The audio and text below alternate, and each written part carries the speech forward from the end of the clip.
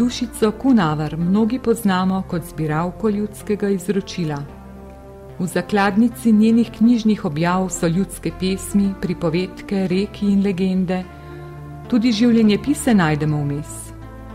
Od leta 96 je samo v zbirki Podlipo domačo, ki izhaja v samo založbi, išlo 16 del, med njimi čar vode, čarodejna moč rastlin, čar lesa, živali Zlatorogovega kraljestva, čar kruha, čar kamna, ljudske noše in še in še.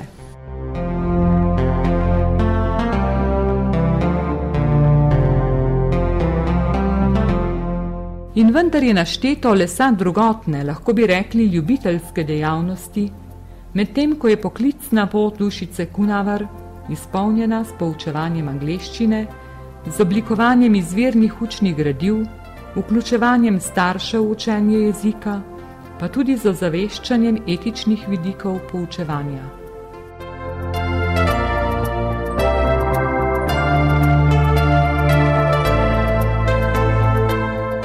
Dobitnica priznanja se zaveda, da živimo v prelomnem obdobju. Vstopamo v nove mednarodne povezave in če hočemo biti soustvarjalci prihodnje multikulturne Evrope, ne moremo naprej brez znanja jezikov.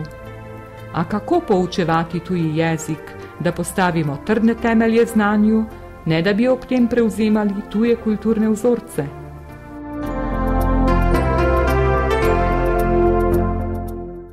Dušica Kunavar pozna odgovor.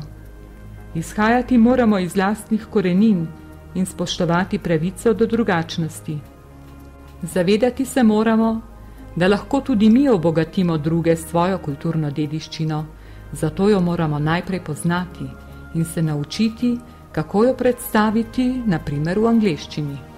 Programi, ki jih je pripravila, segajo od vrabčje šole lepega vedenja za najmlajše do strokovno zahtevne angleške poslovne korespondence.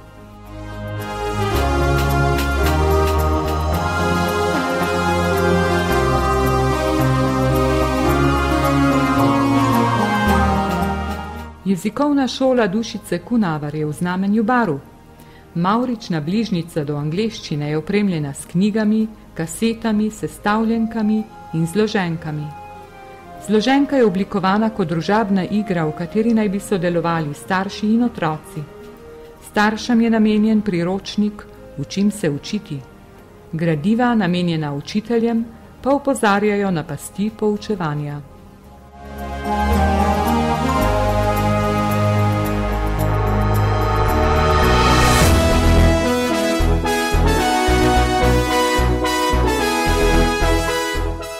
Pedagoška neugnanost dušice Kunavar skoraj da ne pozna meja. O temah, ki jih obravnava v svojih knjižnih delih, že več kot 15 let predava poslušalcem vseh starosti v najrazličnejših okoljih, v šolah, vrtcih, knjižnicah, na fakultetah, v šolah za odrasle, pa tudi v bolnišnicah, domovih in zdraviliščih, da le najde ljudi, ki so pripravljeni prisluhniti in se iz njenih bogatih izkušenj še sami česa naučiti.